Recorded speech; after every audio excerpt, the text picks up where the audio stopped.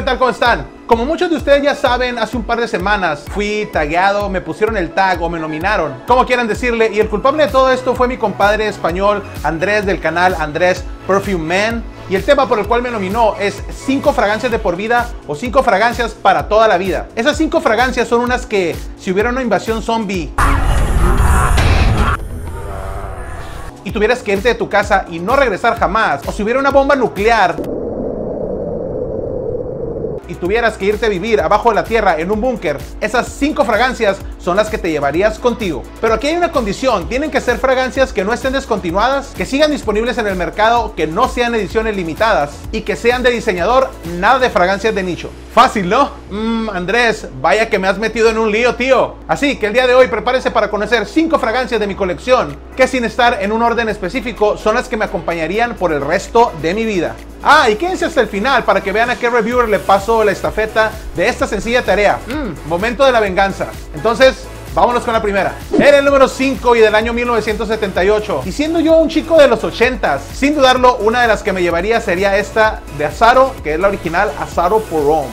Una fragancia aromática Fouyer que tiene más de 20 notas en su composición, pero en las que sobresalen el musgo de roble, cuero, lavanda, vetiver y anís. Esta fragancia te da un increíble aroma a barbería o barber shop y no huele absolutamente nada pasada de moda, ya que muchas peluquerías o barberías siguen utilizando este tipo de aromas refrescante, vigorizante, súper masculina, súper versátil, con un toque de dulzura lo suficiente para que no huela totalmente seca esta fragancia. Una que en su publicidad decía, para los hombres que aman a las mujeres que aman a los hombres. Trabalenguas, ¿no? Esto lo dice todo, así que suficiente, me la llevo. En el número 4, una que ni pensándola dos veces la dejaría de llevar conmigo, es esta de la Ligue Encre Noir.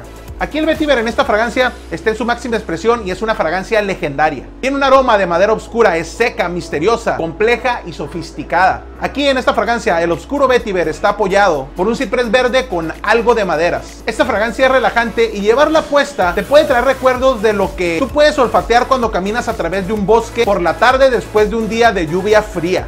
Esta es la fragancia de un verdadero hombre.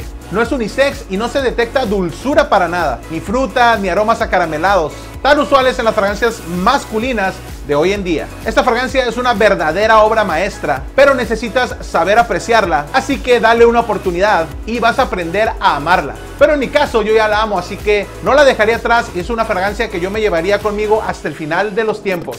Y teniendo más de 500 fragancias en mi colección, esta que les voy a presentar enseguida es una de las que más uso le he dado. Así que, ¿qué piensan ustedes? ¿Me gusta o no me gusta? Claro que me encanta. Y esta es otra que no pudiera irme de este mundo sin llevármela y esta es de Job y es Job la original. Vainilla, canela, tonka y notas florales hacen que esta fragancia se describa con una sola palabra, sexy. Job Homme del año 1989 ha sido ya reformulada y siempre ha sido algo controversial, ya que muchas personas dicen que es dulce, súper empalagosa, que te quema hasta el cuello. tal vez hay algo de cierto en eso, pero esta es una que definitivamente a mí me encanta. Esta fragancia es una que casi siempre comparan con la de Mont Blanc Individual y con Original Sental de Creed. Y aunque mucha gente dice que la primera versión antes de ser reformulada era bastante potente, yo no sé qué tienen estas fragancias, pero las versiones más nuevas también son extremadamente potentes. Yo Homme es un aroma que va en contra de todas las normas de las fragancias de hoy en día y que por ningún motivo podía faltar en este listado. En el número 2 traigo una que he hablado en repetidas ocasiones y en diferentes videos acerca de ella. Y le tengo un amor indescriptible, tanto que hasta la he besado delante de la cámara. Y es esta de Perry Ellis de la línea Oud Black Vanilla Absolute.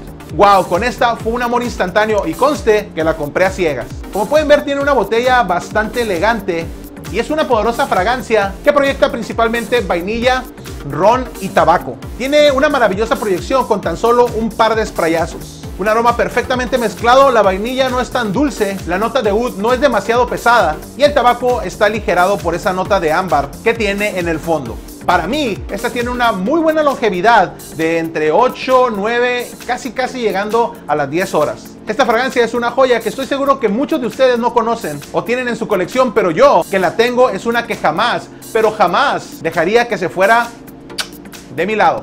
Y ya por último y en el número uno de las 5 fragancias para toda la vida es esta de Jack's Fat y se llama Jack's Fat for Loam. Esta es una fragancia del año 1998 y la nariz detrás de esta fragancia es un perfumista de nombre tal vez no muy conocido, y que se llama Oliver Guillotine o Guillotine.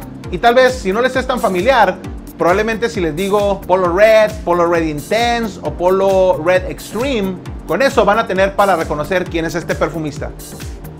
Ah, ah, pero esta fragancia es riquísima. Si ustedes no tienen una idea de lo que es combinar frambuesa, ámbar, tonka, incienso de olíbano, rosa y especias, aún no tienen la menor idea de lo que se están perdiendo. Con un gran estallido de frambuesa y rosa en su apertura, y ya después el toque picante de las especias equilibran y balancean bastante bien el toque dulce y floral. Muy al principio esta fragancia entra en un territorio unisex, pero muy al principio.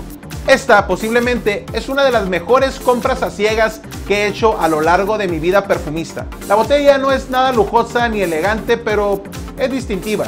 Y de cualquier manera no habría por qué hacerla nada elegante, ya que aquí lo importante y lo exquisito es el jugo que está en su interior. Tiene una vibra de una fragancia de los años 70, 80, pero definitivamente es una fragancia que huele ah, noventera. Hay algunas personas que les parece una fragancia un poco extraña, pero basta solamente un par de usos para que se convierta en una de tus fragancias favoritas para otoño e invierno. Esta fragancia es una por la cual definitivamente estuvieras pagando más de los 30 dólares que cuesta actualmente. La proyección y longevidad en esta fragancia para mí son fantásticas y la calidad de la misma ni se diga es asombrosa. Si tú quieres ser cómplice de un robo, échale un vistazo a esta fragancia de Jack's Fat, ya que por el precio que paga realmente lo es. Caballeros, y con esta fragancia cierro mi listado de 5 fragancias para toda la vida. Y que amablemente mi amigo Andrés me puso el tag. Entonces ahora viene el momento en el cual yo tomo venganza y voy a nominar entonces al canal de Rosendo's Perfume X para que ahora él, Rosendo, que asumo que así se llama, nos dé sus 5 fragancias con las cuales él considera que pudiera vivir toda la vida. Caballeros, gracias por estar en sintonía y ya lo saben que oler bien no es una opción, es una necesidad, así que háganlo siempre. Y nos vemos por ahí en algún otro video, cuídense mucho, Adiós.